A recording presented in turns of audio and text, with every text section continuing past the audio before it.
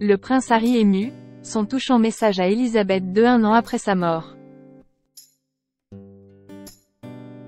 À la veille du premier anniversaire de la mort d'Elisabeth II, Harry a rendu hommage à sa grand-mère. De passage en Angleterre ce 7 septembre avant de s'envoler pour elle Allemagne, le fils de Charles III a eu de tendres mots pour la souveraine qui s'est éteinte le 8 septembre 2022. C'était il y a un an jour pour jour.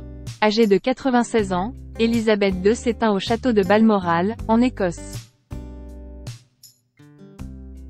Pour ce triste premier anniversaire, les membres de la famille royale lui rendent hommage. Le premier à prendre la parole pour saluer sa mémoire n'est autre que le prince Harry, ce jeudi 7 septembre. De passage en Angleterre pour la cérémonie des Wild Child Awards, est l'association caritative venant en aide aux enfants malades dont il est le parrain depuis près de 15 ans, le duc de Sussex est revenu sur son décès. Comme vous le savez, je n'ai pas pu me rendre l'année dernière à la cérémonie, car ma grand-mère venait de mourir, a-t-il commencé. Comme vous le savez aussi, elle aurait été la première personne à insister pour que je me rende à la cérémonie au lieu d'aller à son chevet.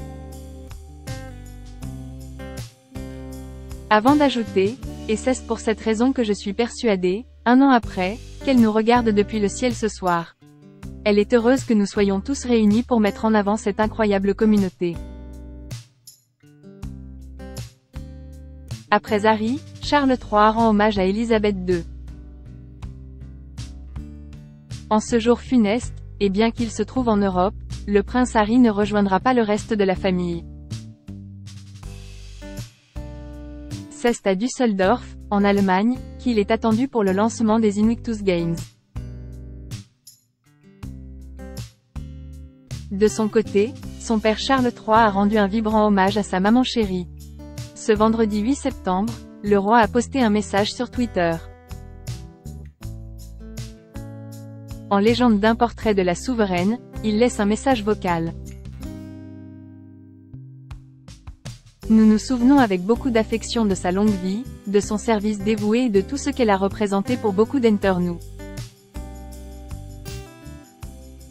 Avant de s'adresser aux Britanniques, je suis également profondément reconnaissant de l'amour et du soutien qui nous ont été témoignés, à mon épouse et à moi-même, au cours de cette année, alors que nous faisons tout notre possible pour être à votre service à tous.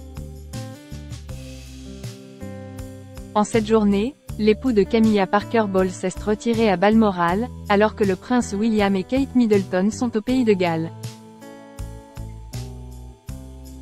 Au cours de la journée, le couple devrait prendre publiquement la parole pour honorer la mémoire de la défunte reine après une messe célébrée en la cathédrale Saint-David.